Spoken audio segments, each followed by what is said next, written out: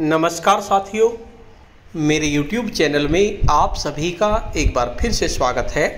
साथियों, जैसा कि आपको अवगत है, सभी कर्मचारियों और शिक्षकों की पंचायत चुनाव में ड्यूटी लगी थी और ड्यूटी लगने के बाद हमारे बहुत सारे शिक्षक और कर्मचारी संक्रमित हो गए हैं, जिनमें से कुछ शिक्षकों की मौत भी हो चुकी है। ऐसे में मुख्यमंत्री श्री योगी आदित्यनाथ जी ने निर्देश दिए हैं कि पंचायत चुनाव में लगे हुए सभी कर्मचारियों की कोरोना जाँच कराई जाए। साथियों, काफ़ी अच्छी न्यूज़ है। आज की इस वीडियो में हम यही जानेंगे कि आखिर सीएम योगी ने क्या निर्देश दिए हैं और किस तरह से पंचायत चुनाव में लगे कर्मचारियों की कोरोना जाँच होगी।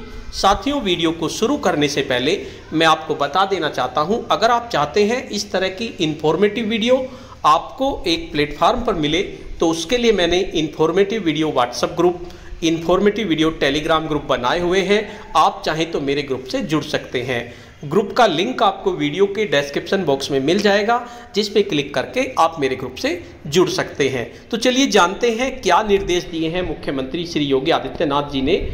पंचायत चुनाव में लगे सभी कर्मचारियों की होगी कोरोना जाँच, सीएम योगी का निर्देश। मुख्यमंत्री योगी आदित्यनाथ ने कहा कि पंचायत चुनाव में सेवा देने वाले सभी कार्मिकों की टेस्टिंग ज़रूर की जाए।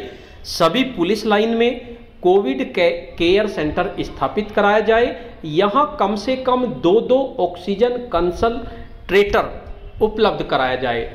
मुख्यमंत्री ने बुधवार रात कोविड प्रबंधन के संबंध में मंडलायुक्त एडीजी जिलाधिकारी डीआईजी पुलिस कप्तान के साथ वीडियो कॉन्फ्रेंसिंग के ज़रिए यह निर्देश दिए। सीएम ने कहा कि अगर कहीं नियत शुल्क से अधिक की वसूली की घटना हो तो तत्काल दोषियों के खिलाफ महामारी एक्ट के अंतर्गत कार्रवाई की जाए।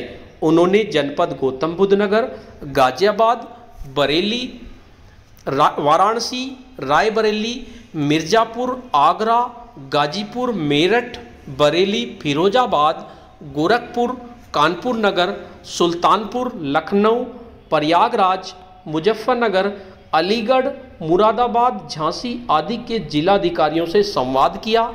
उनके जनपदों में कोविड 19 की स्थिति, प्रबंधन, बचाव व उपचार के संबंध में जानकारी प्राप्त की और आवश्यक दिशा निर्देश दिए। कुछ अस्पतालों द्वारा बेड खाली होने के बाद भी मरीजों को एडमिट करने से इनकार की घटनाएँ संज्ञान में आई हैं। अस्पतालों का यह रवैया कतई ठीक नहीं है। निजी अस्पतालों में यदि कोई मरीज़ अपने इलाज का खर्च देने में असमर्थ है तो उसका भुगतान राज्य सरकार करेगी। काफ़ी अच्छी न्यूज़ है और काफ़ी अच्छे निर्देश दिए गए हैं, जो कर्मचारी चुनाव की ड्यूटी करके आए हैं। उनको संक्रमित होने की बहुत ज़्यादा संभावना है, इसलिए उनका टेस्ट होना ज़रूरी है। इसके लिए मुख्यमंत्री योगी आदित्यनाथ जी ने निर्देश दिए हैं। इसके साथ साथ सीएम ने कहा कि होम आइसोलेशन में इलाजरत लोगों की ज़रूरतों का पूरा ध्यान रखा जाए। मेडिकल किट उपलब्ध कराने में विलंब अक्षमय है। अगले तीन दिनों में प्रदेश के 100 फ़ीसदी होम आइसोलेशन के मरीजों को मेडिकल किट उपलब्ध करा दिया जाए। नॉन कोविड मरीजों को भी टेली कंसल्टेशन की सुविधा मिले। होम आइसोलेशन में रखे जाने से पूर्व मरीज़ को मेडिकल किट दी जाए। उसे ज़रूरी सावधानियों के बारे में विधिवत जानकारी दी जाए। मंडलायुक्त और जिलाधिकारी स्वयं सभी व्यवस्थाओं की पड़ताल करें।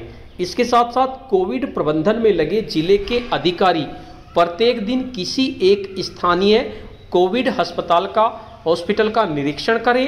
हृदय, किडनी आदि से जुड़े नॉन कोविड गंभीर रोगियों के इलाज के लिए अस्पताल डेडिकेट किए जाएँ। गर्भवती महिलाओं को तुरंत सहायता दी जाए। मंडलायुक्त स्तर पर इसकी कार्य योजना बनाकर व्यवस्था लागू की जाए।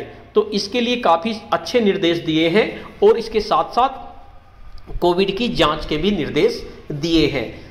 तो साथियों, आज की वीडियो में इतना ही। आपको यह वीडियो कैसी लगी? अगर आपको ये वीडियो अच्छी लगी तो इस वीडियो को लाइक लाइक करें, शेयर करें, वीडियो पे कमेंट्स करें। और अगर आप मेरे चैनल पे नए हैं, पहली बार मेरे चैनल को देख रहे हैं तो चैनल को सब्सक्राइब कर लें और बेल के आइकन को प्रेस कर दें, जिससे कि आपको नेक्स्ट वीडियो का नोटिफिकेशन मिल सके। धन्यवाद।